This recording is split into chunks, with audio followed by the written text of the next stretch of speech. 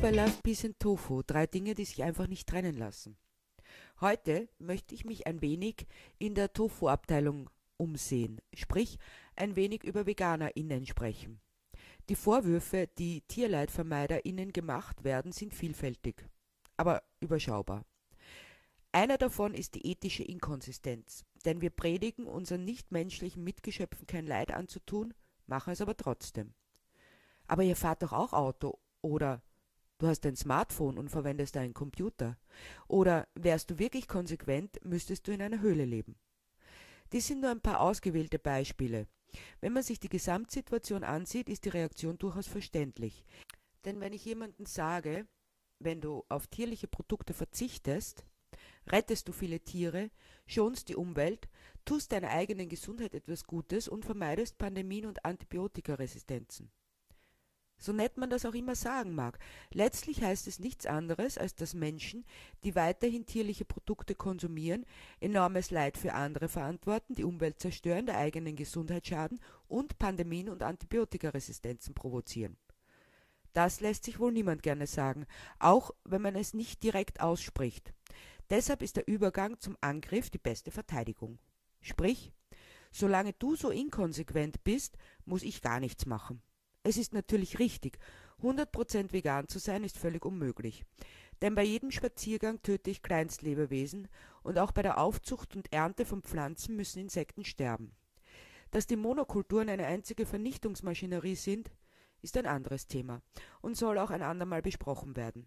Ansonsten ist es richtig, auch wenn angemerkt werden muss, dass wohl viel weniger Kleinstlebewesen sterben, wenn ich die pflanzlichen Kalorien für 8 Milliarden Menschen anbaue oder um damit 60 Milliarden sogenannte Nutztiere zu versorgen. Dennoch kann ich erst richtig und hundertprozentig vegan sein, wenn ich tot bin. Dann haben auch noch die Würmer was davon. Äh, das soll aber jetzt nicht der Schluss sein, auch wenn es manche gibt, die alle VeganerInnen gerne tot sehen möchten. Da möchte ich keine falschen Hoffnungen verbreiten, so einfach wird es nicht sein, uns loszuwerden. Beim veganen Leben geht es auch nicht um Perfektion, sondern darum, so viel Leid wie möglich zu vermeiden, und zwar für alle Geschöpfe, also auch für mich selbst, wie aus der Definition vom Veganismus der Vegan Society hervorgeht.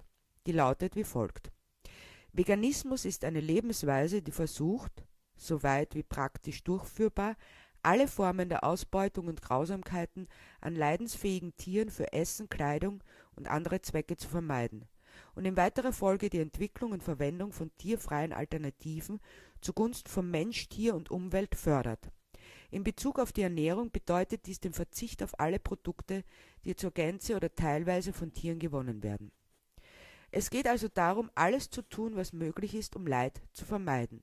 So könnten wir die globalen Ungerechtigkeiten relativ schnell aus der Welt schaffen, auf eine Weise, die jede und jeder umsetzen kann. Dennoch möchte ich euch hier einen Brief nicht vorenthalten, den Herr Fleischfresser an die VeganerInnen schrieb, um ihnen ihre Verfehlungen vorzuhalten. Die Mottenfalle oder die schwerwiegenden ethischen Verstöße der VeganerInnen. Ein offener Brief eines bekennenden Fleischfressers an die heuchlerischen VeganerInnen. Sehr geehrte Damen und Herren aus Veganien. Immer wieder und wieder versucht ihr mir ein schlechtes Gewissen zu machen, weil ich Fleisch esse. Dabei esse ich nur ganz wenig, so höchstens einmal am Tag und dann nur das vom Nachbarbauern, der es liebevoll zu Tode streichelt. Ich weiß das, ich war dabei. Also quasi. Bitte, ich lebe ja in der Stadt und der Nachbarbauer ist in Argentinien. Aber im Sinne der Globalisierung und der weltweiten Toleranz sind wir doch alle Nachbarn. Jetzt werdet ihr auch noch nationalistisch, ihr heuchlerisches Pack. Rassistisch wahrscheinlich gar. Wieder ein moralischer Makel. Und der streichelt seine Tiere ganz liebevoll zu Tode, wie erwähnt. Das habe ich selbst gesehen. Also quasi. Er hat es mir gesagt. Ich kann zwar nicht brasilianisch, aber das muss es geheißen haben. Aber das alles brauche ich gar nicht anzuführen, denn die eigentlichen Heuchler seid ihr. Für euch werden vielleicht keine Tiere getötet, aber ich habe es jetzt mit eigenen Augen, mit diesen in meinem Gesicht gesehen. Und ihr lasst nicht töten, ihr tötet selbst. Das habe ich gesehen. Also, das kam so. Ich war mit meiner lieben Frau bei einer von euch auf Besuch. Und wie ich mich so umsehe, da entdecke ich es. Ich war zunächst so schockiert, dass ich gar nicht hinzusehen wagte. So verlogen und heuchlerisch selbst es aufzuschreiben, fällt mir schwer. Ihr müsstet sehen, wie meine Hände zittern vor Wut und Scham. Besagte Dame erzählte gerade meiner Frau, ich höre das so nebenbei, dass wir Fleischfresser die Welt zerstören, das Klima und das Wetter und so. Dass wir daran schuld seien, dass die Kinder in Afrika verhungern und sowas. Aber das sind doch alles Peanuts gegen das, was ich in dieser Speisekammer entdeckte. Eine Mottenfalle. Eine Lebensmittelmottenfalle, um genau zu sein. Mir schwindelt regelrecht bei dem Gedanken an all die Motten, die in dieser Falle qualvoll verenden. Eltern, Kinder, Alte, ohne Rücksicht auf Verluste, die armen Mottenbabys, die liebevoll von der Mama gesäugt und großgezogen wurden, hinweggerafft. Familien werden zerrissen und zerstört.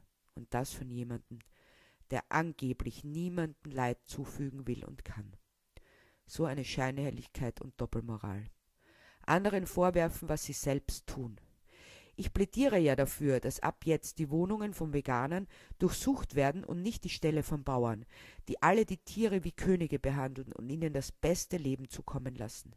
Hart arbeitete, traditionsbewusste, gute Menschen sind das allesamt, die dann schlecht gemacht werden und von wem? Von Heuchlern und Scharlatanen, die selbst nicht besser sind, kein bisschen. Ja, mehr noch, von anderen was verlangen, was sie selbst nicht tun keine Spur von ethischer Integrität. Ganz im Gegenteil. Das Glashaus kann ja gar keine intakten Scheiben mehr haben, durch die sie ihre Steine werfen. Überflüssig zu sagen, dass wir, nachdem ich meine Frau dezent auf diesen Zustand, ja Unzustand hingewiesen hatte, hoch erhobenen Hauptes, wenn auch zutiefst enttäuscht, die ungastliche Stätte verließen, denn mit Heuchlern wollen wir nichts zu tun haben, mit Mördern erst recht nicht. Außerdem muss ich auf mein Herz achten, das meldet sich immer wieder, und solch eine Aufregung tut nicht gut. Ich nahm dann sicherheitshalber sozusagen prophylaktisch eine Leberkässemmel zu mir. Das zählt nicht zum Fleisch, auch nicht die normalen Wurstsemmeln. Das ändert nichts daran, dass ich nur ganz selten Fleisch esse, und das werde ich auch beibehalten. Aber ich bin offen und stehe dazu. Nicht so wie ihr Heuchler, und ich will mit Heuchlern nichts zu tun haben. Ich würde mir das nächste Mal gründlich überlegen, bevor ich rechtschaffene Bürger anschwärze. Ich wäre auch sehr verbunden, wenn ihr mir mit euren moralischen Keulen in Zukunft vom Leib bleibt, vor allem, weil ihr selbst in solch einem moralischen Sumpf sitzt. Hochachtungsvoll ein Fleischfresser. Nun, das sind doch schwerwiegende Anschuldigungen, die man nicht einfach so stehen lassen kann. Deshalb gibt es zu diesem Brief auch ein Antwortschreiben die Mottenfalle oder die nicht perfekte Welt. Antwort auf den offenen Brief eines bekennenden Fleischfressers an die heuchlerischen VeganerInnen. Sehr geehrter Herr Carnivore, vielen Dank für Ihr sehr erhellendes Schreiben. Es befruchtet den interkulturellen Diskurs zwischen Karnivoren und VeganerInnen, wenn man weiß, wie der andere denkt und vor allem, wie er argumentiert. Weiters geht daraus hervor, dass nach wie vor sehr viel Unwissen oder Nichtwissen wollen herrscht. Ja, das Unwissen oder Nichtwissen wollen das Wissen bei weitem übersteigt. Das erste grobe Missverständnis, das den gegenseitigen Umgang vehement erschwert, ist der Glaube daran, dass VeganerInnen so etwas wie einen Moralkodex haben, den sie alle samt und sonders zu befolgen haben einen von außen vorgegebenen, wie wir es zum Beispiel von Religionsgemeinschaften oder diktatorisch geführten Parteien kennen. Interessant, wie da die eigenen Vorerfahrungen anderen wieder einmal übergestülpt werden. Vor allem das hierarchische, paternalistische Denken, das es unter VeganerInnen nicht gibt und nicht geben kann. Und das aus einem sehr wichtigen Grund, dem jeden, der noch unvertraut ist, ins Stammbuch geschrieben sei. VeganerInnen gehören keiner Religionsgemeinschaft oder Sekte an, auch keiner Partei mit festem Statut. Sie sind so unterschiedlich wie Menschen eben unterschiedlich sind. Es gibt nur eines, was sie grundlegend verbindet: der Wunsch, so wenig wie möglich Leid zu verursachen. Das bedeutet, dass alles unterlassen wird, wofür ein Lebewesen ausgebeutet wird, ganz gleich, ob es sich um das handelt, was aus dem Körper kommt oder den Körper selbst. Das ist das Minimum.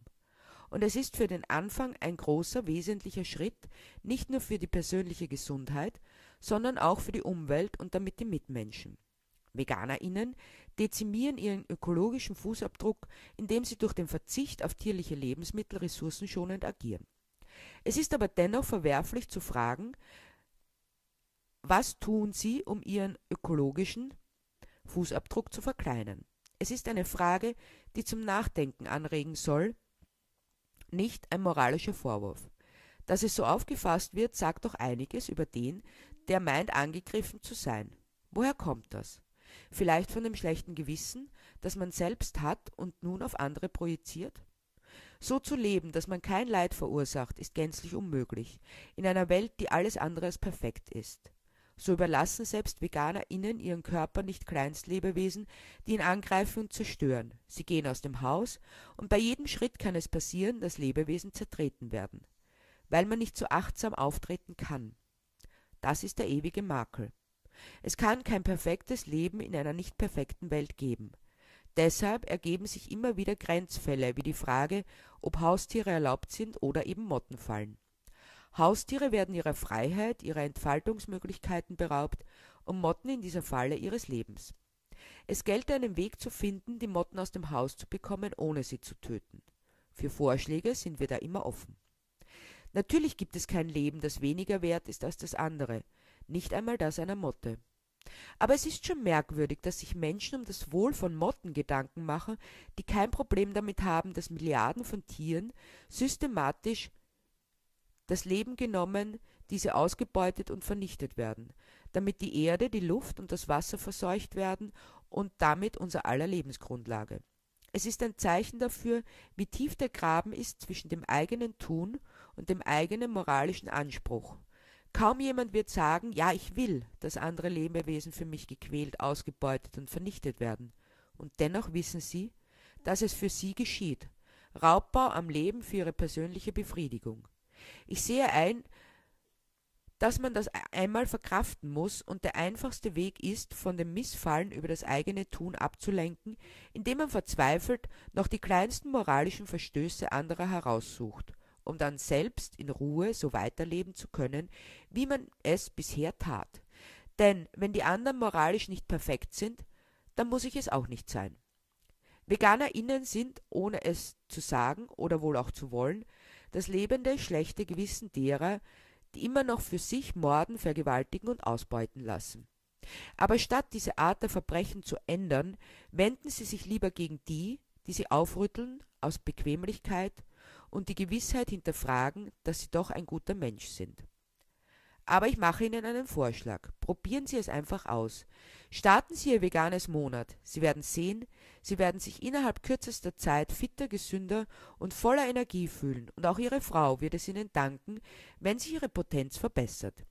Wir wünschen Ihnen viel Freude beim Entdecken. Ihre VeganerInnen.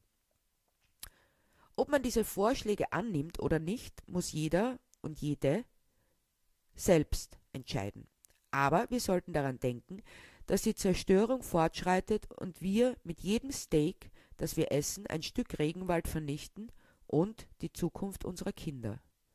Sollte das nicht Grund genug sein, das eigene Verhalten ein wenig zu überdenken? Ich hoffe, ich konnte euch ein paar Anregungen mitgeben und ihr hört wieder rein bei Love, Peace and Tofu.